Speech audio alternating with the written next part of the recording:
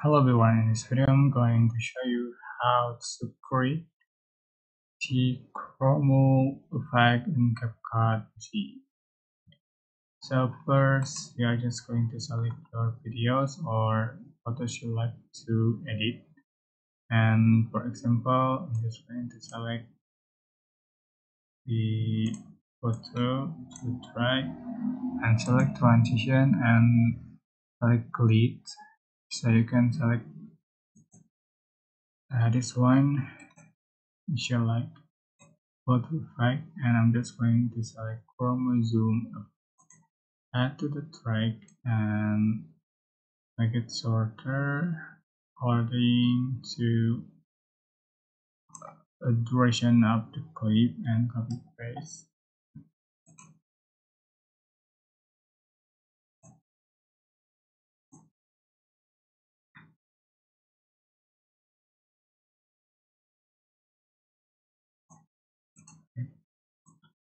and you can see for the final result. Yeah.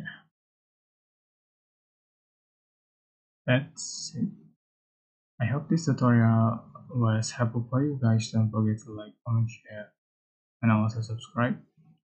If you have any questions please type in the comment section below. Thank you so much for watching